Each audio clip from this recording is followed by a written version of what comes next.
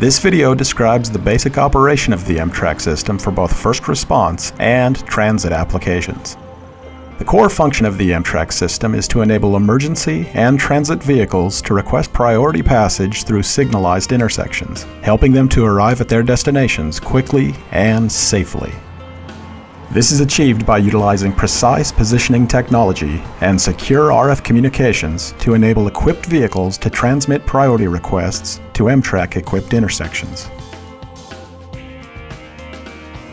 Since it was first demonstrated in 1987, EMTRAC has been the technology leader in wireless signal priority control systems. By design, the EMTRAC system is the easiest priority management system to install and maintain. In addition to our standing as the industry leader in reliability, EMTRAC support personnel are experienced, well-trained, and use remote diagnostic software to provide unmatched customer support. The EMTRAC system has often proven to be the lower cost priority control solution, while still offering the ability to customize and expand the system for future projects. The most important endorsement of the EMTRAC system may be found in the positive comments from those agencies who are using the system. We encourage inquiring agencies to contact EMTRAC customers to hear these comments for themselves.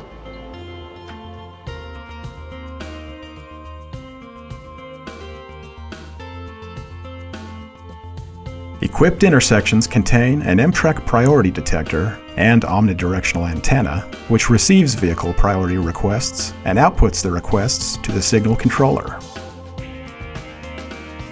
Equipped vehicles carry an EMTRAC vehicle computer unit, which is connected to a dual location communications antenna that is mounted on top of the vehicle. Vehicle computer units contain a database of configurable virtual detection zones. Upon entering one of these zones and meeting other user configurable criteria, the vehicle computer unit automatically transmits a request to the priority detector at the intersection. The intersection signal controller then modifies the phase sequence to provide a green light for the requested direction.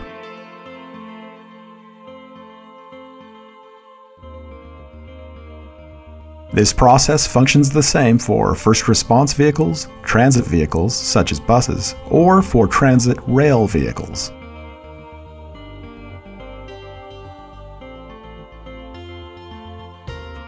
Agency personnel are able to configure and maintain their system by utilizing the EMTRAC Systems Manager application, which allows for complete system customization.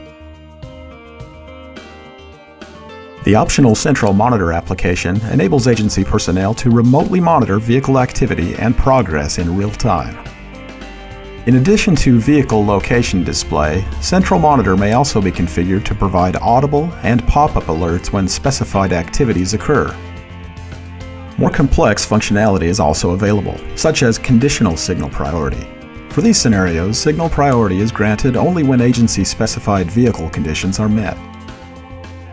As an example, buses may be granted signal priority only when they are a specific amount of time behind schedule. These types of conditional setups assist transit agencies to improve schedule adherence and headway times. We encourage you to visit our website and contact us for detailed system specifications, customer references, or to arrange for an online or on-site demonstration.